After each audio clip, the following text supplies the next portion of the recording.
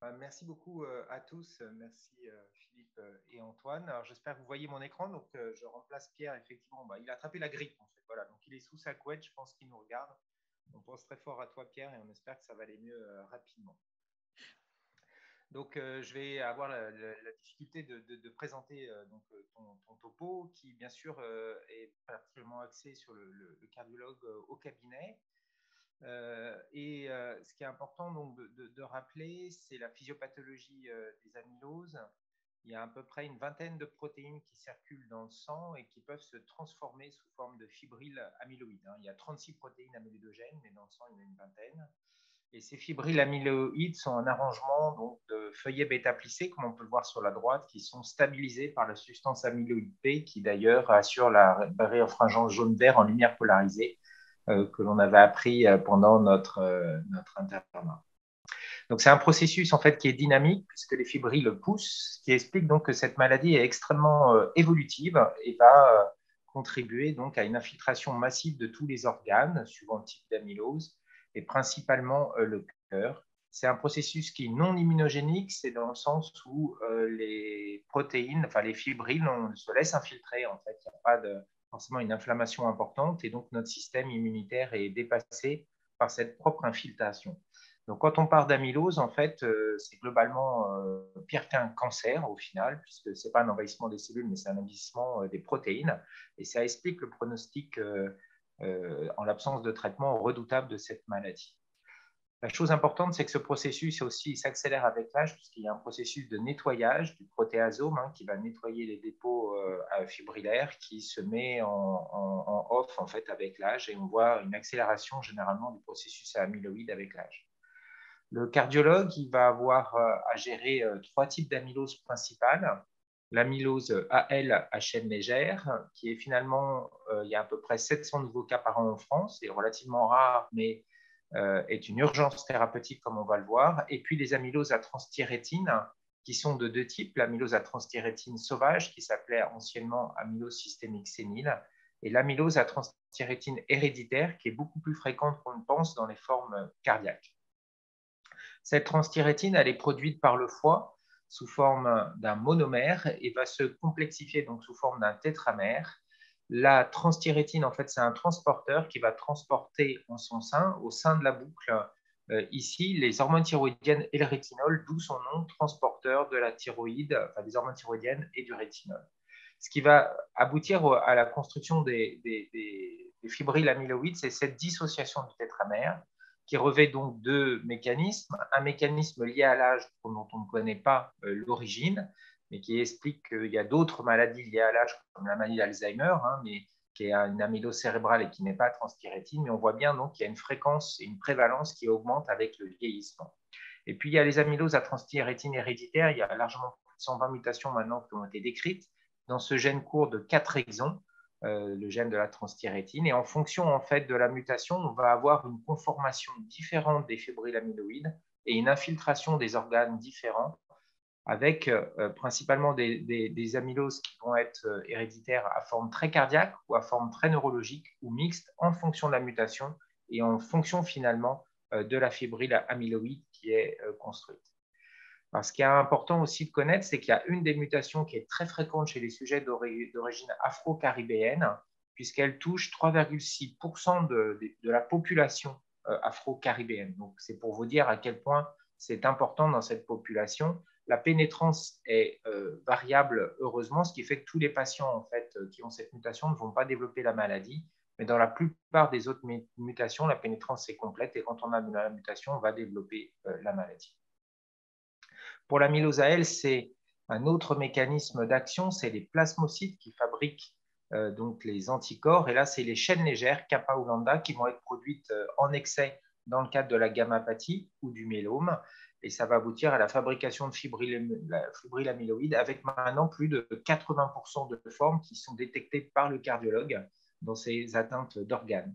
Ce qui est important de savoir, c'est que la gammapathie, elle, euh, elle augmente avec l'âge et il y a quasiment 10% euh, des sujets de plus de 80 ans euh, qui ont une gammapathie et 10% de ces sujets ont une gammapathie chaîne légère, lambda ou kappa. Ce qui est important de, bien comprendre, c'est qu'une gammapathie, en fait, est donc extrêmement fréquente et ce qui va témoigner, en fait, de sa pathogénicité, c'est le développement d'une amylose. Et euh, au bout du temps, en fait, lorsqu'on a une gammapathie initialement qui est cliniquement non significative ou d'origine, enfin, ce qu'on appelait MGUS, elle peut évoluer vers l'amylose ou vers l'humélome ou vers les deux. Et c'est important donc de bien identifier cette maladie. La gammapathie, elle se définit par une anomalie à l'électrophorèse, à l'immunofixation des AGN et et on va voir à quel point le cardiologue a une place centrale en fait, dans la prescription de ces examens et dans sa compréhension. La prévalence des amyloses, en fait, dans les syndromes cardiologiques comme l'insuffisance cardiaque à FEVG préservée, ou le RAC, ou la CMH, ou même maintenant euh, l'IM sur plastinitrale, évolue et on voit très vite donc qu'on a en fait des amyloses dans tous ces types de syndromes et qu'il faut que le cardiologue dépasse le syndrome pour aller chercher les pathologies qui sont dessus. Et je crois que l'amylose démontre vraiment pour cette évolution qu'il est nécessaire d'aller chercher les pathologies derrière ces syndromes. Donc on voit des amyloses à 13% dans l'FPF, à 16% dans les RAC, à 8% dans les CMH pour les formes héréditaires, mais il y a aussi les amyloses AL. On ne connaît pas encore tous les chiffres, mais globalement, les amyloses, il y en a partout dans tous nos syndromes cardiologiques. Et il faut finalement, lorsqu'on a un syndrome qui est l'insuffisance cardiaque ou une FA ou un trouble conductif, aller réfléchir aux mécanismes pathophysiologiques qui est sous-jacent. Il n'y a pas que les amyloses, bien sûr, mais souvent, ça va être le cas euh, d'une amylose. Donc, en consultation, quand réfléchir à une amylose, il faut rechercher les signes évocateurs d'amylose. Les premiers signes au niveau clinique, ça va être bien sûr aller examiner, le, interroger le patient, est-ce qu'il a des symptômes d'insuffisance cardiaque, faire l'électrocardiogramme, l'échocardiographie, on va revoir ces signes. Et puis, dès qu'on va pouvoir évoquer donc, euh, euh, ces signes euh, d'amylose sur la clinique, le CG et l'écho, rechercher les signes extracardiaques évocateurs, et c'est ce qu'on va voir. Et puis après, savoir prescrire les examens au cabinet immédiatement. On peut faire les ordonnances pour rechercher donc la gammapathie, pour rechercher la fixation myocardique, on va le voir dans les amyloses à transthyrétine et dans les amyloses à L, chez les sujets plus jeunes, moins de 50 ans, on peut peut-être faire l'IRM cardiaque et l'immunobiologie. Alors, ces signes cardiaques évocateurs d'amylose sont bien sûr les signes d'insuffisance cardiaque. Malheureusement, la maladie est souvent repérée à un stade trop tard au niveau cardiaque, puisqu'il faut que le niveau d'infiltration myocardique soit important pour que le patient soit symptomatique, et il va souvent présenter des signes d'insuffisance cardiaque qui sont des signes d'insuffisance cardiaque classique. On est bien dans le cadre d'un syndrome. Parfois, cette infiltration va prédominer sur les oreillettes et les, les patients vont présenter du flotteur, de l'AFA ou des troubles conductifs et vont être appareillés d'un pacemaker. Donc, on voit bien là encore qu'on est dans le syndrome. Souvent, associé à cette dyspnée, les patients vont présenter une onde Q à l'électrocardiogramme et une élévation de la troponine qui peut faire orienter euh, vers un syndrome coronaire aigu ou vers des tableaux de pseudomyocardite qui sont en fait des amyloses. Donc la troponine est souvent élevée dans l'amylose du fait de l'infiltration euh, dans le secteur extracellulaire qui va encercler les cardiocytes et les tuer. C'est un signe qui, euh, très, qui évoque l'amylose. L'électrocardiogramme, il est souvent normal dans 30 à 40% des cas, on peut voir un microvoltage qui se définit par des dérivations dans les standards à moins de 5 mm ou 10 mm dans les précordiales. Ce microvoltage est assez fréquent dans les amyloses AL, beaucoup moins dans les amyloses à transthyrétine. Et on peut même voir par moment des vraies hypertrophies électriques, ce qui est très surprenant évidemment dans une amylose, puisque dans une amylose, on va avoir un épaississement du myocarde sans anomalie normalement d'hypertrophie à mais en fait, il n'y a jamais jamais, jamais de toujours. Ce qui est fréquent, donc, c'est ces de Q euh, qui témoignent en fait du degré d'infiltration. Ce n'est pas une nécrose, c'est en fait l'amylose qui a euh, infiltre euh, de manière importante une paroi et on va voir le développement d'onde Q. Et puis, il y a des troubles conductifs, souvent un type de BAV1, qui témoignent de l'altération en fait des tissus électriques par l'amylose. Alors, on va suspecter l'amylose devant ces signes cliniques, devant une hypertrophie. On va faire bien sûr l'écho. Donc, le, seuil qui a été relevé dans ces guidelines, c'est 12 mm, mais on sait qu'on peut avoir des amyloses même euh, sans hypertrophie, ou du moins euh, chez les femmes qui ont un plus petit gabarit ou les gens qui ont un plus petit gabarit à 11 mm. Et on va identifier des drapeaux rouges, des signes extracardiaques d'amylose qui vont évoquer, donc il faut aller rechercher en cas euh, d'hypertrophie myocardique. Ces drapeaux rouges, hein, ils sont nombreux, on va les voir, mais globalement, vous le voyez, dans l'amylose cardiaque, il y a beaucoup de syndromes dans lesquels il faut se pencher. Euh, une cardiopathie hypertensive, on va trouver finalement une hypertrophie, un patient qui va devenir insuffisant cardiaque. Est-ce que c'est vraiment sa cardiopathie hypertensive s'il a des tensions qui sont euh, normalisées? Est-ce que c'est vraiment une FF Est-ce que c'est un rack, une FA, un flotteur, etc. Et à chaque fois, en fait, ce qu'il va falloir regarder, c'est l'âge du patient. S'il est âgé, c'est peut-être une amylose. S'il est d'une origine afro-caribéenne, c'est peut-être aussi une amylose héréditaire. L'amylose est plus fréquente chez les hommes et ce qui va vraiment nous guider, c'est les signes extracardiaques. Donc, une fois qu'on a fait l'examen clinique, le CG et puis l'écho, on va voir, il faut aller euh, vers euh, les signes extracardiaques. Voilà un ECG typique d'amylose. On retrouve un petit microvoltage, hein, moins de 5 mm dans plus de dérivation. On voit cet aspect de rabotage des ondaires et c'est un signe d'amylose. Alors, à l'échographie, on va retrouver cet épaississement, cette infiltration du myocarde qui va donner un tableau de, CMH, de cardiopathie hypertrophique. Il ne s'agit pas d'une vraie hypertrophie, il s'agit d'une infiltration. On le voit sur l'écran de droite, on va avoir une infiltration souvent des valves, du septum interatrial, ce n'est pas constant des oreillettes qui sont un peu dilatées, mais pas tellement parce que les oreillettes sont également prises dans la fibrose et une hypertrophie biventriculaire avec un strain qui est très évocateur. Ici, vous voyez un strain en cocarde, puisqu'on sait maintenant que le dépôt commence à la base et remonte vers l'apex. Donc, l'apex va être relativement préservé, mais à la fin, bien sûr, dans les formes sévères, on va avoir une atteinte aussi euh, de l'apex. Dans les formes sévères évoluées, on va avoir un profil transmitral et puis, bien sûr, les patients ont des signes d'insuffisance cardiaque, mais tout ça, c'est dans les formes graves. Et maintenant, il faut qu'on avance euh, pour euh, dépister les patients plus précocement avant ces tableaux catastrophiques d'hypertrophie biventriculaire, d'altération du strain et de profil restrictif. Cette triade, malheureusement, est extrêmement, bien sûr, péjorative pour le patient. Il faut aller en avant et faire diagnostic plus précocement au cabinet.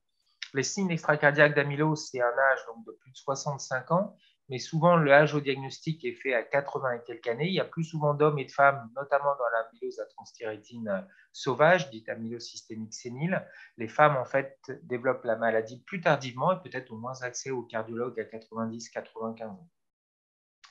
La survenue particulière dans les amyloses à transthyrétine sauvage, c'est surtout des syndromes euh, d'atteinte tégumentaire des tendons euh, qui vont donner des syndromes canocarpiens pour lesquels souvent les patients ont été opérés ou sont symptomatiques plusieurs années avant que l'atteinte cardiaque apparaisse, des ruptures des tendons des longs biceps, du canot lombaire étroit et la surdité qui n'est pas de la présbytie acoustique, qui est une surdité liée à l'infiltration amyloïde au niveau de l'oreille.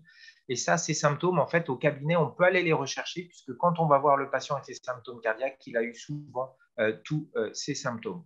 Donc, les signes extracardiaques évocateurs d'amylose, euh, sur l'amylose héréditaire, c'est là, vous voyez à peu près les mêmes symptômes, mais il y a en plus la neuropathie qui est souvent donc c'est souvent des formes mixtes et donc les patients vont se plaindre de paresthésie, de douleurs dans les jambes ou des difficultés dans les mains. Pour l'amylose elle, on a souvent des patients donc, qui sont avec une un peu plus jeunes, le délai diagnostic, enfin ils sont diagnostiqués plutôt ils ont 65 ans, mais on a des patients plus jeunes j'ai même vu un patient personnellement de 23 ans, mais on a des patients donc, qui peuvent être dans la fourchette de 30 à 90 ans. Généralement, ils vont faire leurs symptômes dans les deux ans euh, qui précèdent le diagnostic cardiaque.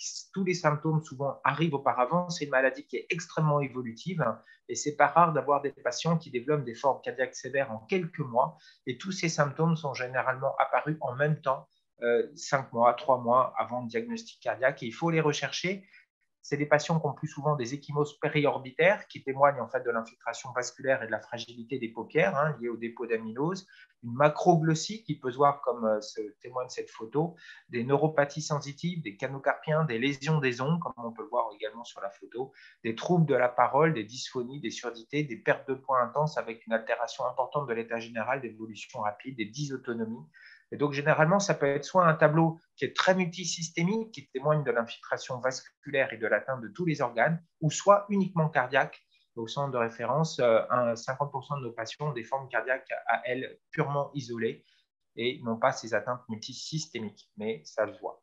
Là, c'est un exemple d'un patient, vous voyez, on voit en fait, quand on interroge les patients, qu'on peut retracer leur histoire au cabinet, leur poser des questions sur leur histoire, sur leurs antécédents, et on peut s'aider et comprendre mieux notamment au niveau de ces atteintes extracardiaques qui arrivent et qui sont vraiment des red flags. Là, vous voyez un patient qui a été vu plusieurs fois pour une CMH, une FA euh, paroxystique, une fibrillation atriale. Vous voyez, il a toute une histoire cardiologique, mais quand on va aller plus loin, on va retrouver sa maladie des doigts ressaut du pitrin, euh, l'intervention sur un canal lombaire, un sus-épineux gauche et les canaux carpiens qui témoignent finalement que ce patient, au final, avait une amylose à euh, sauvage. Donc, qu'est-ce qu'on fait au cabinet quand on a un patient avec une suspicion d'amylose, on va prescrire quatre examens.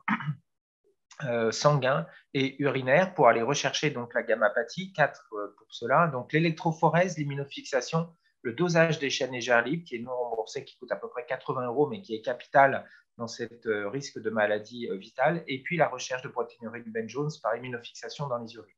Ce qu'on voit, c'est Ici, vous voyez, euh, l'électrophorèse, elle va surtout être anormale s'il y a une chaîne lourde, IgG, IgA, qui est associée à la chaîne légère. Mais s'il y a une chaîne légère seule, ce qui est le cas dans 50% des amyloses AL, on va avoir une électrophorèse strictement normale, voire une hypogamma-globulinémie par rétrocontrôle.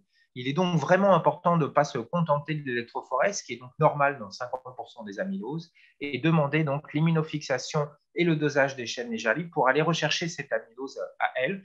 Et là, vous voyez chez ce patient, l'immunofixation va montrer la chaîne lourde G, euh, IgG, et puis également la chaîne lambda. Et puis le dosage des chaînes légères permet d'avoir ce ratio et calculer euh, également la DFLC, la différence entre les chaînes qui évoque l'amylose à elle. Et c'est vraiment important de prescrire ces quatre examens au cabinet dès qu'on a la suspicion d'amylose. Le deuxième examen qu'on peut prescrire, si le patient a plus de 50 ans, c'est la scintigraphie osseuse qui va montrer donc une forte fixation myocardique en cas euh, d'amylose à transthyrétine. Et il y a également malheureusement 10% des amyloses à elle qui fixent. Donc, quand on a une scintille qui est normale avec une forte suspicion d'amylose, ça évoque une amylose à elle. Quand on a une forte fixation, on ne peut interpréter cet examen que si on a fait le test de gammapathie. Donc, je vous invite à regarder sur le réseau amylose. Vous avez une ordonnance pour prescrire ces examens pré-remplis avec tout un guide d'interprétation. Mais globalement, vous voyez que ces examens au cabinet s'analysent de manière simultanée et il n'est pas question de prescrire qu'un seul de ces examens. Donc, s'il n'y a pas de gammapathie et il n'y a pas de fixation cardiaque, eh ben, on peut s'interroger est-ce que c'est vraiment une amylose? Et là, il va falloir faire une IRM cardiaque et un test génétique. Donc, probablement adresser ce patient à un, test, un centre de référence pour pouvoir aller plus loin dans le bilan, euh, avec notamment le test génétique pour chercher une CMH, hein, sarcomérique entre autres, un fabrine, cytopathie mitochondriale, une sarcoïdose. S'il n'y a pas de gammapathie et il y a une fixation cardiaque, eh ben, c'est sûrement une amylose à transthyrétine. Donc, euh, c'est une amylose à transthyrétine. Il va falloir adresser un centre de référence de façon à pouvoir faire le test génétique et pouvoir différencier l'amylose héréditaire de l'amylose euh, sauvage. C'est important de faire ce test génétique, quel que soit l'âge des sujets, parce que c'est une population âgée, qu'à 10% à peu près de ces patients ont des formes génétiques et qu'il va falloir aider la famille et prendre en charge la famille. Malheureusement, souvent les patients décèdent et après on voit les familles arriver et pour épargner un test génétique qui est juste un tube de sang à, un patient âgé, en fait, on se retrouve à devoir faire un dépistage et un conseil génétique à toute la famille parce qu'on ne sait pas quand le patient est décédé quel était son type d'amylose. Donc, en tant que là, je ne parle pas pour Pierre, mais pour les centres de référence, on se retrouve à faire des tests familiaux extensifs, alors que si on avait fait le test plus tôt, on n'aurait pas eu besoin de faire tout ça. Et donc, pour faire des économies, économiser un test, un sujet âgé, en fait, on met sa famille euh, euh, en difficulté. Alors, s'il y a une gammapathie, vous voyez, c'est beaucoup plus compliqué. Et là, c'est là où il y a urgence vraiment à adresser le patient à un centre euh, expert dans l'amylose qu'il faut qu'il prenne le patient rapidement parce que là, seule la biopsie permet de faire la différence. Faire la différence en, quoi? Bah, Vous voyez que gammapathie fixation cardiaque ou gammapathie sans fixation cardiaque ou fixation cardiaque, ça peut être donc une amylose à elle. il y a à peu près 10% des elle qui fixent. Et donc, c'est la biopsie qui va permettre de déterminer le type d'amylose. Et cette biopsie, il faut qu'elle soit faite dans un centre expert pour être correctement faite, puisqu'il faut des prélèvements frais et des prélèvements montés en paraffine. Il faut un anapathe qui ait les compétences pour l'analyser qui est les anticorps, qui fassent à la fois le rouge Congo, le typage, mais également le typage par euh, anticorps que tous les laboratoires n'ont pas, ils n'ont pas l'expérience. Généralement, la biopsie est extracardiaque, mais là, il faut aller très vite pour adresser les patients parce que s'il y a amylose à elle, le pronostic est euh, euh, vraiment en danger et il faut aller au diagnostic et arriver à faire le diagnostic dans le moins de 15 jours. Donc, résultat, finalement, quand on est en consultation, on va voir un patient avec des signes d'insuffisance cardiaque, des signes extracardiaques qu'il faut aller rechercher est-ce qu'il a une macroglossie, des échymoses orbitaires Aussi, interroger quand est-ce que ces signes sont apparus? Est-ce que c'était il y a 5-10 ans? Là, on a peut-être un peu plus de temps pour agir, mais si c'est dans les quelques mois, c'est une urgence à la prise en charge. Il faut immédiatement au cabinet prescrire ces tests avec plus ou moins la scintigraphie, on l'a vu, l'IRM, l'IRM seulement chez les sujets jeunes, ne pas retarder le délai si on n'a pas d'accès à ces examens, surtout adresser le patient rapidement à un centre expert, ne pas perdre de temps. Euh, si on n'a pas accès à ces examens, notamment la scintigraphie osseuse, à l'adresser au centre expert du coin. Euh, on a la liste des centres experts sur le site de la filière ou sur le site du réseau amylose. Et euh, vous voyez donc qu'il y a vraiment deux urgences. Et si vous avez prescrit ces examens, s'il y a une présence de gammapathie, là, il faut l'adresser rapidement à un centre expert pour la biopsie. Et si le patient a une scintille osseuse positive sans gammapathie, bah, il va falloir l'adresser à un centre expert pour réaliser le test génétique et surtout prendre en charge sa famille. L'autre point important, c'est la prise en charge multidisciplinaire de ces patients qui sont des patients âgés, fragiles, avec des multiples autres atteintes amyloïdes, ces formes multisystémiques, puisque les patients peuvent avoir des troubles digestifs, des neuropathies, des canaux lombaires, etc., etc. Et là, les centres experts euh, de l'amylose ont vraiment développé des partenariats avec tous les professionnels de santé, avec des surspécialisations de nos collègues neurologues, rhumatologues ou gériatres dans cette thématique, et sont plus à même de vous aider à prendre en charge ces patients euh, au cabinet. Voilà, le cardiologue de ville a vraiment un rôle majeur dans le diagnostic et la prise en charge et le renouvellement des traitements. Et ça, on le verra après, mais il ne faut pas oublier donc euh, euh, d'adresser et de travailler et de faire comme une équipe de foot, en fait, de se passer la balle de façon à pouvoir optimiser la prise en charge de ces patients complexes qui ont une maladie mortelle et pour lesquels il existe des traitements qui pourront être initiés dans les centres experts. Il faut faire vraiment attention à bien mettre les traitements adéquats au type d'amylose, puisque chaque type d'amylose aura euh, son propre traitement et euh, on vous en parlera euh, tout à l'heure. Donc, comme take-home message, les amyloses cardiaques sont clairement sous-estimées. Les patients ont souvent de nombreux antécédents euh, cardiologiques avec un diagnostic tardif. Il faut aller rapidement au diagnostic dès qu'il y a une gammapathie et l'adresser dans un centre de référence parce que la terreur, c'est les amyloses à elles, pas de retard chez ces patients. Dans les amyloses à transthyrétine, il faut penser à faire le test génétique parce qu'il faut pouvoir différencier les patients qui ont une forme sauvage, d'une forme héréditaire, parce qu'il y a toute la famille qui est derrière à prendre en charge, non seulement les frères et les sœurs, mais également euh, les enfants. Voilà. Merci beaucoup euh, à vous. Merci beaucoup euh, Thibault, très clair. Et effectivement, on, voit et les données s'accumulent sur la prévalence de la, l'amylose cardiaque à partir de tableaux d'entrée assez variés, comme tu l'as rappelé. Euh, donc, on va euh, prendre les questions euh, sur le chat. Donc, n'hésitez pas à poser vos questions sur le chat. Et on a prévu un, échange questions-réponses après le deuxième orateur. Et donc, je vais laisser mon co-modérateur présenter le, deuxième orateur.